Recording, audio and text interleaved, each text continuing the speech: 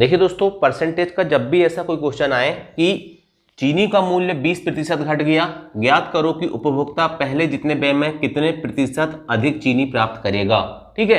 तो जब भी आपको लगे कि चीनी का मूल्य घट गया, ठीक है, कम हो गया, ठीक है, कमी हो गई, और वो पूछे कि कितने प्रतिशत अधिक, ठीक है, या वृद्धि हुई तो इसकी एक शॉर्ट ट्रिक होती है दोस्तों। ये शॉर्ट ट्रिक का फार्मूला आपको याद रखना है प्रतिशत में वृद्धि या अधिकता निकालने के लिए हम ये वाली शॉर्ट ट्रिक का इस्तेमाल करते हैं। सौ गुणित परसेंट कमी बटे सौ माइनस परसेंट कमी। इस ट्रिक से दोस्तों मैं आंसर निकालूँगा तो कैसा आएगा? देखिए, सौ लिख दिया मैंने। सौ गुणित कितने प्रतिशत की कमी हो रही है? बीस प्रतिशत घट गया मतलब कमी हो रही है तो सौ गुणित बीस कर दिया। बटे, इसके बाद सौ सौ लिख दिया। माइनस, यहाँ कह रहा है परसेंट में कमी, कितने प्रतिशत कमी हो रही है? बीस प्रतिशत कमी तो सौ में से बीस घटा दिया। इसको सॉल्व करूँगा तो सौ गुणित बीस बटे सौ में से बीस का कितने बचेगा? अस्सी। काटूँगा तो बीस एकम बीस बीस चौके अस्सी, चार से सौ काटूँगा, पच्चीस बार कट जाएगा। मतलब दोस्तों, पच्चीस प्रतिशत अधिक चीनी प्राप्त करेगा कौन? उपभोक्ता। लेकिन ये क्वेश्चन तो हो गया हमारा क्या? ट्रिक से। लेकिन इस क्वेश्चन को हमें और आगे कैसे सॉल्व करना दोस्तों? कॉन्सेप्ट से इस क्वेश्चन को कैसे सॉल्व करते हैं, ये समझ लीजिए। समझ में भी आना चाहिए चीज़ें, ठीक है? देखिए, चीनी का मूल्य 20 परसेंट घट गया। मान के चलो दोस्तों, पहले जो चीनी या शक्कर का जो मूल्य था, वो था सौ रुपए किलो। मान के चलिए, चाहे शक्कर कितना भी सस्ती हो, सौ रुपए किलो थी, सौ रुपए में एक के आ रही थी। चीनी का मूल्य 20 परसेंट घट गया। मतलब दोस्तों, पहले सौ रुपए था चीनी का मूल्य तो 20 परसेंट घटा तो कितना हो जाएगा? अस्सी रुपए हो जाएगा। मतलब अस्सी रुपए में क्या आ रही, शक्कर अब एक के आ रही है, ठीक है? तो पहले जितने बेम है मतलब उसको सौ रुपए ही खर्च करना है। ठीक है? इंसान कह रहा है कि उपभोक्ता कह रहा है कि चाहे शक्कर कितनी भी सस्ती हो जाए, लेकिन मैं तो उतना ही पैसा खर्च करूँगा जितनी शक्कर पहले लेता था। ठीक है? तो मतलब मुझे सौ रुपए की शक्कर लेना है, चाहे मुझे, चाहे क्या हो जाए, डायबिटीज़ क्यों ना हो जाए। ठीक है? लेकिन मैं सौ रुपए की शक्कर खाऊँगा ही ना? तो देखो, कहने का मतलब पहले सौ रुपए में शक्कर आती थी एक किलो, अब अस्सी रुपए में एक किलो आने लगी। मतलब क्या हो रहा दोस्तों कि अस्सी रुपए मैंने एक किलो तो ले लिया, अब मेरे पास बीस रुपए और बच रहे हैं। तो आप मुझे बताइए कि जब अस्सी रुपये मैंने एक किलो शक्कर ले लिया तो बीस रुपये में कितनी आएगी? एक पाव आएगी। ठीक है? समझने के लिए एक पाव एक पाव मतलब क्या होता है? ढाई सौ ग्राम शक्कर होती है। मतलब दोस्तों, सौ रुपये में मुझे कितनी मिल रही थी? एक किलो, यानी कि एक हज़ार ग्राम मिल रही थी। और अब अस्सी रुपये में क्या हो रहा है दोस्तों? मुझे एक किलो मिल रही है मतलब एक हज़ार ग्राम यहाँ मिल रही है। प्लस बीस रुपये में क्या हो रहा है? मुझे ढाई सौ ग्राम शक्कर एक्स्ट्रा मिल रही है। मतलब अधिक मिल रही है। तो क्या होगा? पहले 1000 ग्राम मिल रही थी, अब 1000 और 250 दोनों मतलब साढ़े बारह ग्राम शक्कर मुझे मिलने लगी। मतलब कितनी मिल रही है? 250 ग्राम ज़्यादा मिल रही है। कितनी मिल रही है? 250 ग्राम शक्कर ज़्यादा मिल रही है। किस पे? 1000 पे। और मुझे निकालना क्या है? परसेंट तो सौ का गुणा करूँगा, काटूँगा तो ढाई से सौ हज़ार कट जाएगा चार बार, ठीक है? और चार से सौ कट जाएगा पच्चीस बार मतलब पच्चीस प्रतिशत शक्कर क्या हो रही है? अधिक मिल रही है। ठीक है, चलिए नेक्स्ट क्वेश्चन देखते हैं एक और इसी प्रकार का। इसी प्रकार का एक और सवाल देखते हैं। रहीम की ऊंचाई करीम से 50 प्रतिशत कम। मैंने बोला ना कि कम हो जाए, ठीक है, या कम वृद्धि हो जाए या घट जाए, ठीक है, यहाँ से शुरुआत हो। तो उसकी शॉर्ट ट्रिक मैंने आपको बताया है कि अगर वो वृद्धि पूछे या अधिकता पूछे तो फार्मूला क्या होता है? 100 गुणित परसेंट कभी बटे 100 माइनस परसेंट कमी। ठीक, इस फार्मूले को आपको क्या करना दिमाग में लेके चलना है। तो यहाँ से पूछ रहा है ज्ञात करोगी करीम रहीम से कितने प्रतिशत अधिक ऊँचा है? मतलब प्रतिशत में वृद्धि पूछ रहा है या अधिकता पूछ रहा है? तो सिंपल सा फार्मूला बताया था मैंने बी सौ माइनस क्या होगा, परसेंट में कमी क्या हो जाएगी? पचास प्रतिशत मतलब सौ माइनस पचास, ठीक है? बटे हो जाएगा दोस्तों, सौ माइनस पचास नहीं, सौ गुणित पचास होगा, क्योंकि सौ गुणित प्रतिशत कमी, बटे सौ माइनस परसेंट कमी मतलब पचास कर दूँगा। काटूँगा तो कितना हो जाएगा? ये हो जाएगा सौ गुणित पचास, बटे सौ में से पचास गए तो कितना हो जाएगा? पचास पचास में से पचास काटूँगा तो सौ बच जाएगा। मतलब सौ प्रतिशत अधिक ऊँचा है कौन? करीम, किससे? रहीम से। ये तो हो गया आपका ट्रिक से। अब इसको हम करते हैं कॉन्सेप्ट से। ठीक है? चलिए, देखिए, समझिए। रहीम की ऊंचाई करीम से 50 प्रतिशत कम थी। ये मान के चलिए रहीम है, ये मान के चलिए करीम है। ठीक है? तो रहीम की ऊंचाई करीम से 50 प्रतिशत कम थी। 50 प्रतिशत कम थी किसकी? रहीम की। मतलब ये इसकी हाइट अगर 200 है, मान के चलिए 200 ठीक है? तो इसकी क्या होगी? 100 होगी। मतलब रहीम की जो हाइट है, करीम से 50 प्रतिशत कम है मतलब आधी है, ठीक है? ये करीम की 200 है तो ये किसकी हो गई? रहीम की कितनी होगी 100 तो ज्ञात करो कि करीम मतलब करीम, रहीम से कितने प्रतिशत अधिक ऊँचा है? तो पहले तो ये बताओ मुझे कितना ऊँचा है। रहीम है सौ, करीम है दो सौ तो मतलब सौ ऊँचा है। तो कितने प्रतिशत अधिक ऊँचा है? तो देखिए भाई, कितने प्रतिशत अधिक ऊँचा है? तो देखो भाई, सौ सौ परसेंट ऊँचा है, ठीक है? तो सौ किस पे ऊँचा है? किससे रहीम की ऊंचाई करीम से 50 प्रतिशत कम थी। याद करो कि करीम रहीम से तो रहीम की हाइट क्या है? 100 तो सौ बटे 100 करूँगा, गुणित क्या कर दूँगा? परसेंट निकालना सौ कर दूँगा। 100 से सौ कट जाएगा मतलब 100 परसेंट क्या है? अधिक ऊँचा है। कौन? सिंपल से समझने की बात है यार। कुछ भी समझने लायक नहीं था इसमें, ठीक है? लेकिन ये चीज़ें नहीं समझ में आएगी तो आप क्वेश्चन सॉल्व नहीं करोगे। क्वेश्चन कितना भी घुमा के दे, अगर आपका कॉन्सेप्ट क्लियर है तो आप कर लोगे। फिर मैं, नहीं तो मैंने आपको ट्रिक तो बता ही रहा हूँ, क्योंकि कम समय में इतना ही मिलता है, ठीक है? क्योंकि अगर अच्छे से सीखना है तो फिर समय देना पड़ेगा, ठीक? चलिए नेक्स्ट क्वेश्चन देखते हैं। अभी मैंने आपको प्रतिशत वृद्धि या अधिकता वाले क्वेश्चन कराए। अगर आप कमी वाले क्वेश्चन पूछे तो कैसे सॉल्व करेंगे? जस्ट उसका अपोजिट कर देंगे। ठीक है? जब भी दोस्तों प्रतिशत में कमी या, या खर्चा कम करने के लिए बोले तो हमको क्या करना है? 100 गुणित जो प्रतिशत में वृद्धि हुई है उसको लिखना है।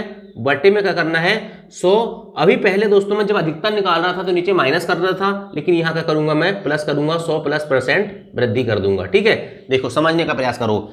खाद्य सामग्री का मूल्य 10 प्रतिशत बढ़ गया। यहाँ से ही आपको क्वेश्चन समझ में आ जाएगा। यहाँ जो लिखा है, बढ़ गया लिखा है ना, कुछ मत करो डायरेक्ट 100 गुणित 10 कर दो। चाहे कम ही हो, चाहे बढ़े।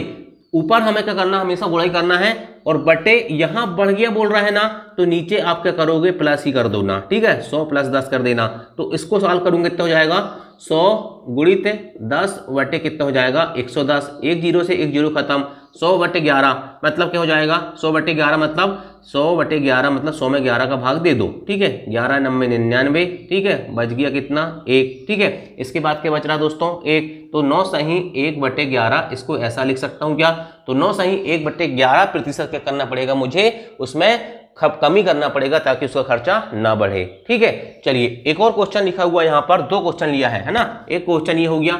सेम क्वेश्चन एक और मैं आपको करके बताता हूँ इसी फार्मूले से। जब भी आपको दोस्तों स्टार्ट में बढ़ोतरी दिखे और कमी पूछे तो आपको ये शॉर्ट ट्रिक अपनाना है। ठीक है? एक व्यक्ति ने किसी कारण से अपना खर्च बीस प्रतिशत बढ़ा दिया। पुनः कारण समाप्त होने पर वह अपना खर्च कितना प्रतिशत घटाए कि उसके बचत पर कोई असर ना हो। मान के चलो, पहले मेहमान आ गए, फिर मेहमान चले गए। तो सिंपल सा फार्मूला है। सौ गुणित क्या करना है?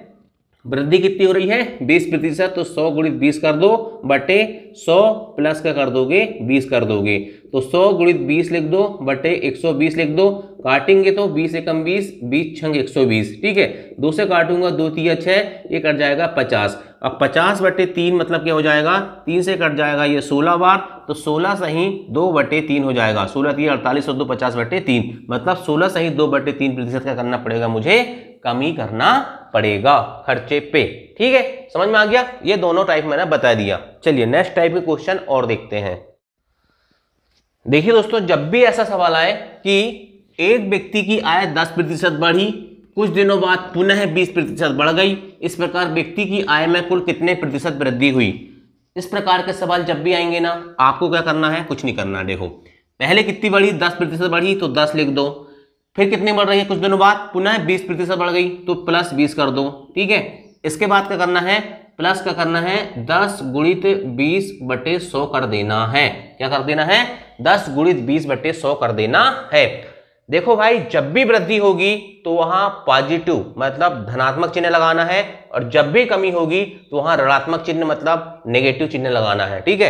देखो, यहाँ पर वृद्धि हो रही है तो मैंने 10 लिखा हूँ मतलब ये प्लस का 10 है, ठीक है? ये 20 है मतलब प्लस का बीस हो गया। प्लस 10 गुणित बीस बटे सौ, इतने प्रतिशत वृद्धि क्या होगी? फाइनली होगी। तो इसको सॉल्व करेंगे तो कैसे सॉल्व करते हैं? देखो सबसे पहले इसको सॉल्व कर लेते हैं। ये हो जाएगा दस गुणित बीस कितना हो जाएगा? दो सौ। ठीक है? दो सौ बटे सौ कर दूँगा तो ये कितना हो जाएगा? ये ये हो जाएगा दो। ठीक है? दस और बीस कितना हो जाएगा? दस और बीस हो जाएगा तीस। तीस और दो कितना हो जाएगा? ये हो जाएगा बत्तीस। मतलब फाइनली कितने प्रतिशत वृद्धि हो रही है? बत्तीस प्रतिशत वृद्धि हो रही है। नेक्स्ट सवाल देखिए, एक और लिखा हुआ यहाँ पर। दूसरा सवाल, क्या बोल रहा है? मोहन ने अपना पहले पंद्रह प्रतिशत घटाया। पहले पंद्रह प्रतिशत घटाया मतलब कंजूसी किया। पुनः पाँच प्रतिशत घटाया मतलब और ज़्यादा कंजूसी किया। इस प्रकार उसके व्यय में कुल कितने प्रतिशत की कमी हुई? ठीक है? तो देखो, पंद्रह प्रतिशत घटाया मतलब माइनस पंद्रह लिखना मुझे। इसके बाद पुनः पाँच प्रतिशत घटाया मतलब माइनस पाँच लिखना मुझे। ठीक है? इसके बाद प्लस लिखना है, यहाँ प्लस ही आएगा। ठीक है? अब दोनों माइनस हो रहा है, दोनों घट रहे हैं तो यहाँ क्या करूँगा? माइनस पंद्रह गुणित माइनस पाँच करूँगा, बटे क्या कर दूँगा दोस्तों? सौ कर दूँगा। ठीक है? क्लियर हुआ? देखो भाई, है ना? अब यहाँ पर माइनस पंद्रह, ठीक है? ये माइनस पाँच प्लस ये पंद्रह गुणित पाँच करूँगा कितना हो जाएगा? पंद्रह पन्ना पचहत्तर हो जाएगा और ऋण और ऋण का चिन्ह कितना हो जाएगा? धनात्मक हो जाएगा। बटे क्या हो जाएगा ये बेटा? सौ हो जाएगा। इसको काटूँगा पच्चीस दिया पचहत्तर, पच्चीस सौ के सौ। इसको जोड़ दूँगा यहीं पर तो माइनस बीस प्लस तीन बटे कितना हो जाएगा बेटा? चार हो जाएगा। इसको सॉल्व करूँगा तो बीस चौके कितना हो जाएगा? अस्सी। माइनस अस्सी प्लस तीन बटे चार हो जाएगा। माइनस अस्सी में तीन का कितना बचेगा बेटा? माइनस सतहत्तर बटे चार हो जाएगा। ठीक है? और ये आपका क्या हो जाएगा? आंसर आ जाएगा। ठीक है? चलिए नेक्स्ट देखते हैं। नेक्स्ट सवाल है दोस्तों। एक आयत की लंबाई पाँच प्रतिशत बढ़ाई गई, जबकि चौड़ाई दस प्रतिशत बढ़ाई गई। इस प्रकार उसके क्षेत्रफल में कितने प्रतिशत वृद्धि हुई? कुछ नहीं करना है। आयत की लंबाई कितने प्रतिशत बढ़ाया? पाँच प्रतिशत बढ़ाया है तो पाँच लिख दो। प्लस चौड़ाई कितने प्रतिशत बढ़ाया? दस बढ़ाया तो दस लिख दो। प्लस क्या करना है मुझे? इन दोनों का गुणा कर दो। पाँच गुड़ी दस बटे क्या कर दूँगा मैं? यहाँ पर सौ कर दूँगा। इसको सॉल्व करेंगे तो पाँच प्लस दस बटे प्लस माइनस पाँच गुणित दस कितना हो जाएगा? पचास बटे सौ। ये काटूँगा तो ये हो जाएगा आपका दो। ठीक है? तो पाँच और दस कितना हो गया? पंद्रह। धन एक बटे दो। पंद्रह दूनी तीस और एक इकतीस बटे दो। ठीक है? इसको सॉल्व कर सकते हैं या पंद्रह सही एक बटे दो प्रतिशत भी इसको लिख सकते हैं। ठीक है? तो इतने प्रतिशत की होगी? वृद्धि होगी। ठीक है? चलिए नेक्स्ट क्वेश्चन देखते हैं एक और। का एक और सवाल देखते हैं। एक आयताकार खेत की लंबाई 20 प्रतिशत बढ़ाई गई, जबकि चौड़ाई 10 प्रतिशत घटाई गई। उसके क्षेत्रफल में कितने प्रतिशत परिवर्तन हुआ? 20 प्रतिशत बढ़ाई गई मतलब 20 लिख दिया। दस प्रतिशत घटाई गई मतलब माइनस दस लिख दिया। इसके बाद क्या करना है? प्लस लगाना है। बीस गुणित ये माइनस दस वटे क्या करना मुझे? सौ करना है। काटूँगा। बीस से कम बीस बीस पंचिस सौ। ये दस कट जाएगा दोस्तों पाँच से दो बार। ठीक है? बीस में से दस गया, कितना बचेगा? दस प्लस ये माइनस दो है। माइनस दो लिख दिया। ठीक है? दस, ये प्लस माइनस क्या हो जाएगा? माइनस माइनस दो। दस में दो है आठ। आठ प्रतिशत क्या हो जाएगा? परिवर्तन हो जाएगा। ठीक है? चलिए नेक्स्ट क्वेश्चन देखते हैं एक और। क्वेश्चन है दोस्तों एक वर्ग की भुजा 25 प्रतिशत बढ़ाई गई, उसका क्षेत्रफल कितने प्रतिशत बढ़ जाएगा? वर्ग क्या होता है जिसकी चारों भुजाएँ बराबर हो और चारों कोण क्या होते हैं? समकोण होते हैं मतलब 90 डिग्री होते हैं। ये चीज़ आपको पता होगा, ठीक है? अगर इसकी दोस्तों चारा बुझाई बढ़ाई गई बोल रहा है वो, ठीक है मतलब ये भी 25 परसेंट बढ़ाई गई है, ठीक है तो ये भी क्या हुआ है 25 परसेंट बढ़ेगी और ये भी क्या होगी 25 परसेंट बढ़ेगी और ये भी 25 परसेंट बढ़ेगी। मतलब दोस्तों क्या होगा, वर्ग की भुजा चारों क्या होती है, बराबर होती है। अगर पच्चीस प्रतिशत बढ़ाई गई है दोस्तों तो कहने का मतलब दोस्तों, अगर इसकी एक बीमा बढ़ाई गई है तो दूसरी बीमा बढ़ाई गई। क्यों? क्योंकि वर्ग जो होता है दोस्तों, कैसा होता है टू होता है, टू डायमेंशन होता है। ठीक है मतलब इसमें क्या होगा, दोनों चीज़ें बढ़ेगी तो इसमें क्या करेंगे हम, इसका शार्ट ट्रिक ऐसा कर लेंगे कि पहली बीमा 25 प्रतिशत बढ़ाई, दूसरी बीमा भी 25 प्रतिशत बढ़ी। ठीक है, टू बी टू डी होता है ना इसलिए दो बार लिखेंगे, ठीक है? प्लस यहाँ 25 गुणित 25 कर देंगे, बटे सौ कर देंगे, ठीक है? काटूँगा तो कैसे कटेगा बताओ मुझे। पच्चीस चौके सौ, ये पच्चीस बटे चार। अब पच्चीस बटे चार को क्या लिख सकते हैं हम? पच्चीस बटे चार को लिख सकते हैं छः सही एक बटे चार। ठीक है? छः चौके चौबीस और पच्चीस बटे चार। ये पच्चीस पच्चीस कितना हो जाएगा बेटा? पचास हो जाएगा। पचास प्लस छः सही एक बटे चार मतलब क्या हो जाएगा?